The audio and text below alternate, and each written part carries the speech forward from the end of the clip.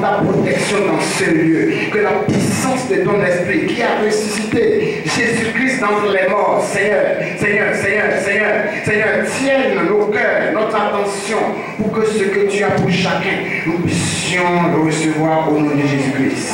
Seigneur, merci pour ta souveraineté. Merci pour ton trône qui est établi au milieu de nous. Seigneur, Seigneur, sois Dieu en ce lieu et que toute chose s'efface devant toi, Seigneur. Merci parce que tu es là. Au nom de Jésus-Christ. Amen.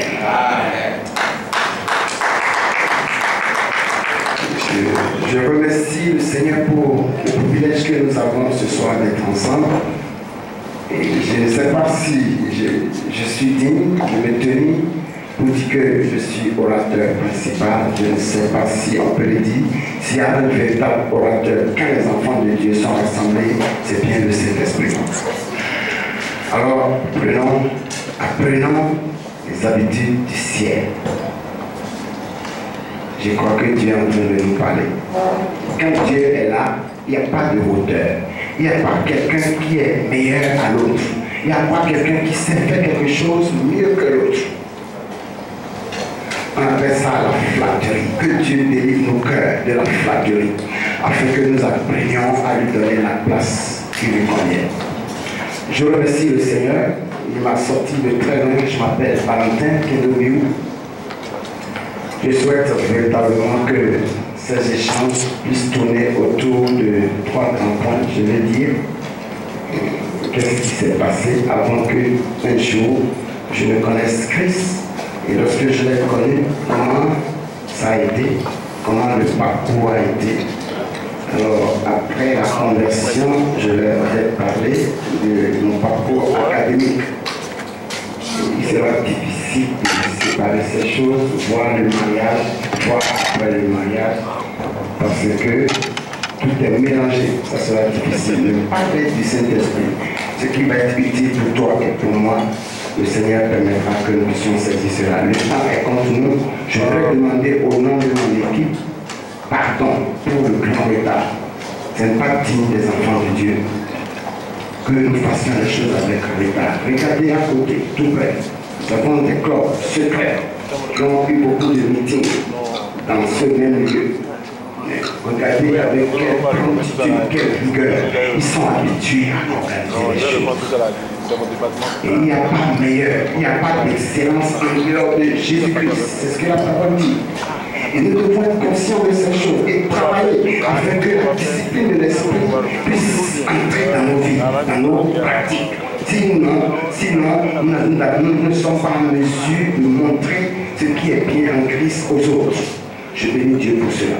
J'ai reçu le reproche. Je vous demande pardon. Si vous étiez fâché, pardonnez-nous. Et si vous nous donnez votre pardon, nous sommes encouragés à continuer. Que Dieu vous bénisse. Ok, je suis né premièrement il y a environ 46 ans. Donc je ne sais pas si véritablement je suis appelé à avec les jeunes. Mais Dieu a dit qu'il m'a donné un cœur jeune, un cœur enfant. Peut-être que dans mon cœur, je suis plus jeune que beaucoup de jeunes. C'est ce que Dieu a dit. Et je le remercie parce que je n'ai rien fait pour être ici. J'ai voulu me dérober, mais on m'a dit c'est Dieu qui a parlé. Alors je suis obligé de griller. Je comprends que nous pourrons certainement avoir des choses en commun. Ok Je suis sorti d'une famille polygame. Polygame, on ne pas avec quatre femmes. Mais une polygamie qui n'a pas été comme cela est connue ailleurs. Quand une femme atteint la ménopause, vous comprenez, il a besoin d'avoir des enfants, il en prend une autre. Et maman, donc, est la dernière. Maman a fait neuf enfants à mon père. Et oui, oui, filles et un seul garçon. Vous voyez combien je suis précieux. Trop, trop précieux. Si tu ne sais pas que je suis précieux, je te dis que je suis très précieux.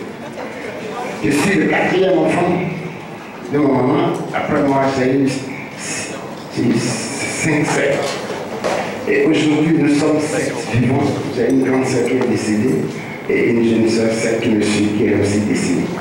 Nous sommes sept aujourd'hui. Et je continue de bénéficier de l'amour auprès de mes frères et de mes sœurs. Vous comprenez, en tant que seul garçon, Ce n'est pas facile que ma vie, je puisse la mener comme je l'entends. Je suis surveillé. Quand je disparais, tout le monde se met à me chercher. Tout le monde. Je ne peux pas quitter le regard de mon père, ni le regard de ma mère. Si je dois aller quelque part, il faut que je demande la permission. Si je manque de demander la permission, je suis béni vraiment. Régulièrement, on a l'habitude de m'attacher, comme on attache les moutons. Je me réveille le matin, je me vois attaché et je dois dire où je suis allé. Comme je n'aimais pas trop la chicotte, j'avais juré les deux fois quand je me rappelle que mon père avait fait ça, j'avais dit si je répète ça, je vais me suicider. Et il croyait que je blaguais. Je pense que Dieu l'a aidé et il n'a pas continué. Et moi aussi, montre pas la chicotte, et c'était une humiliation, j'ai dit je ne vais plus faire ça. Donc, je suis trop je ne peux pas sortir. Je suis resté dans cet environnement. Dieu merci de m'adorer l'intelligence. Je voulais brillamment dans les classes.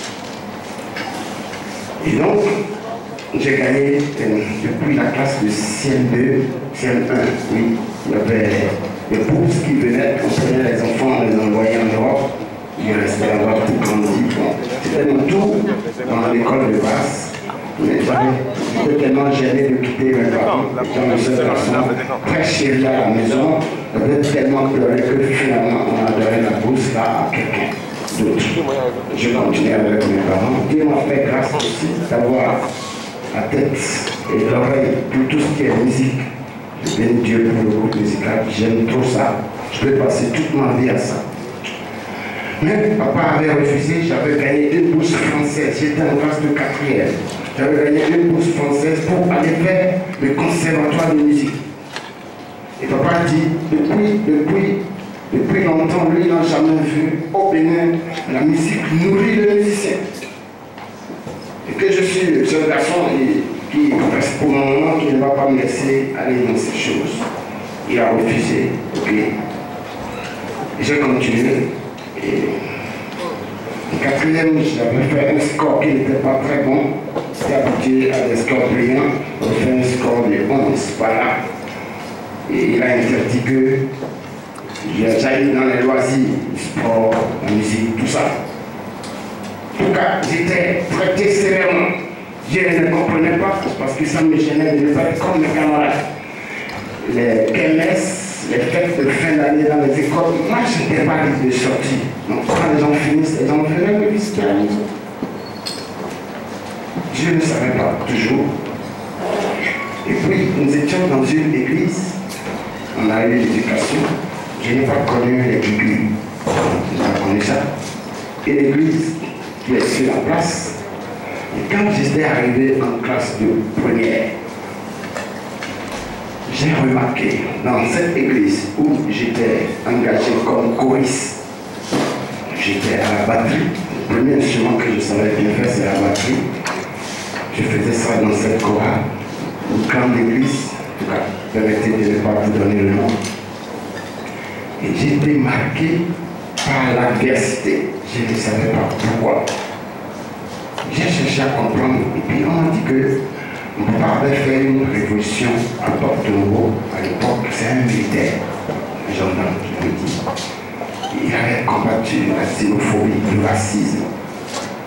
Nous sommes de puis, toutes les fois que les gens du Nord devaient être maltraités dans la localité, comme il était un chef au camp à l'époque, il faisait sévir les gens.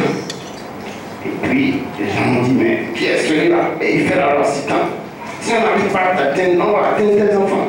Tu n'es pas éternel. En tout cas, j'ai cherché, et puis les gens m'ont dit qu'il y a des vindicatifs qui avaient choisi de ne pas coller la paix à sa progéniture. Bon, moi, à la grâce de Dieu, comme j'ai excellé, c'était difficile de me connaître dans les, dans les classes, dans les études. Mais partout où je passais, je sentais la diversité. Maintenant, ce qui m'a encore touché le plus, c'est que dans ce milieu-là, il y avait une pratique qui n'était pas très bonne. C'est que des jeunes filles, lorsqu'elles atteignent l'âge nubile, je ne sais pas comment la chose se fait, il faut que quelqu'un dans le milieu lui arrache sa pureté. C'est pas si vous me comprenez. Avant de la livrer sur le marché, pour qu'elle aille chercher qui va apprendre en mariage.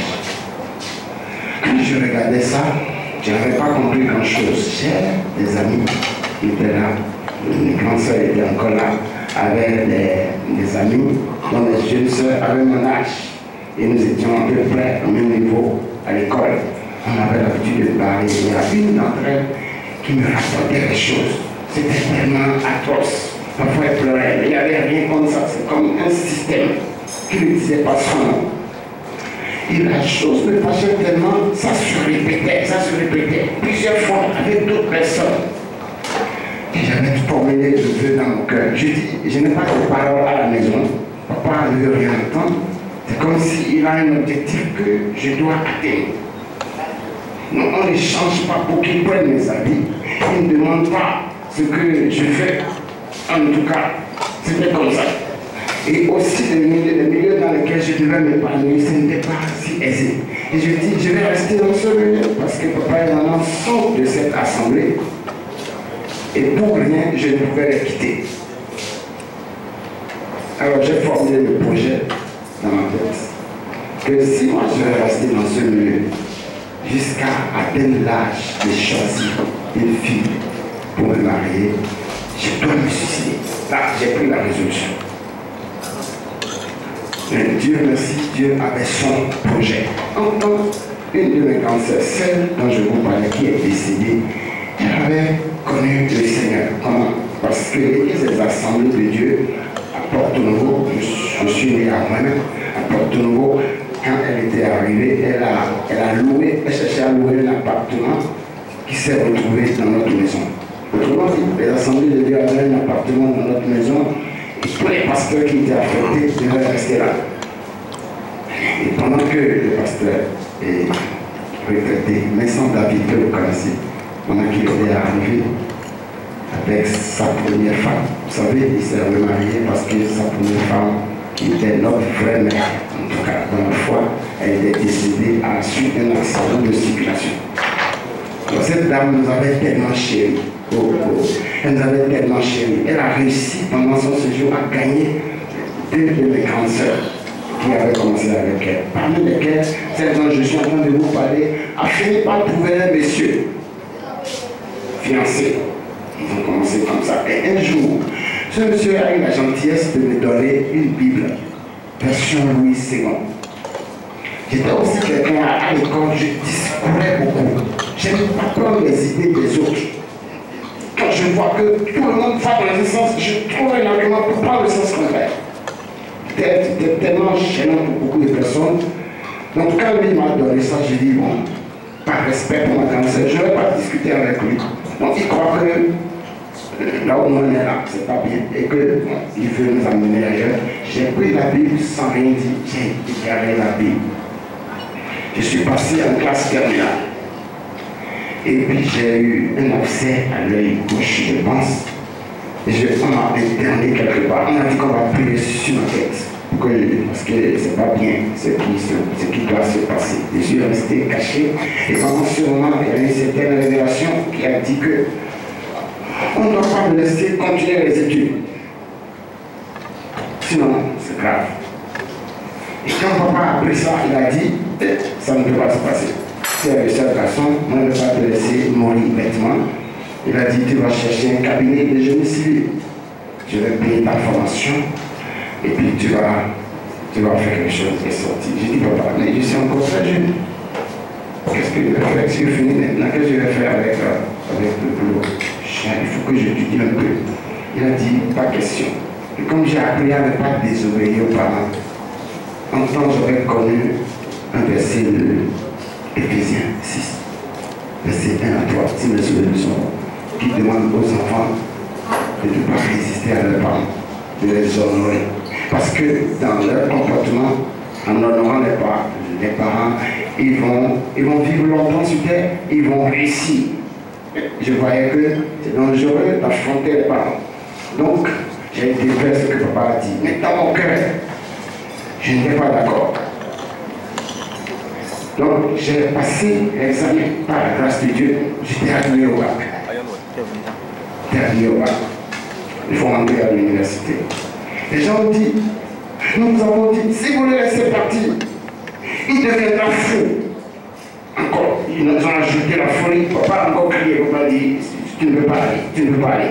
Papa faisait tout pour me retenir. Alors, je n'ai rien dit. En tout temps, je voulais de vous dire, maman, maman a été saisie par le diabète. Cas, elle faisait partie des premières personnes quand les cas de diabète ont été déclarés dans le pays. Et on achetait des insulines en France. Avait des gens qui allaient, des gens qui vendent des bijoux. C'est eux qui nous ramenaient les insulines et elle prenait régulièrement. Donc, quand elle avait ce mal, elle disait qu'elle rêve un jour d'avoir un enfant médecin. Parce qu'on lui a appris elle-même à s'injecter l'insuline. Bon, c'est une femme qui n'a pas été à l'école, mais qui comprend bien le français. Donc, imaginez ça. Elle doit faire attention et pouvoir s'injecter matin, soir, l'insuline. Elle disait il faut un enfant qui sache faire ce truc-là. Donc, j'ai parlé avec elle, j'ai dit, bon, il faut que je fasse quelque chose. Elle, assez précipité, elle a dit, il faut que tu fasses infirmerie pour pouvoir m'aider.